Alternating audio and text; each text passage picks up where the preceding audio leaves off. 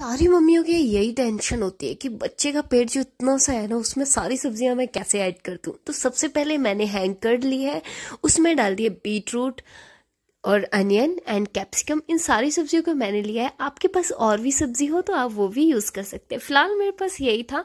तो मैंने थोड़ी सी डाल दी है धनिया पाउडर लाल मिर्च पाउडर एंड गर्म मसाला और नमक। सारी चीज़ों को अच्छे से कर लिया है मिक्स तो काफ़ी थिक टेक्सचर और स्टफिंग तैयार हो चुकी है। तो यहाँ हम पराठा बेलेंगे, उसमें स्टफ्ड कर देंगे अपनी स्टफिंग तो स्टफिंग जब रेडी हुई है, आप देख सकते हैं, ये कितनी थिक है। ये पराठे बेलने में मुझे बिल्कुल भी दिक्कत नहीं आएगी। तो आप भी अपनी कर्ड को इतना ही थिक रखें।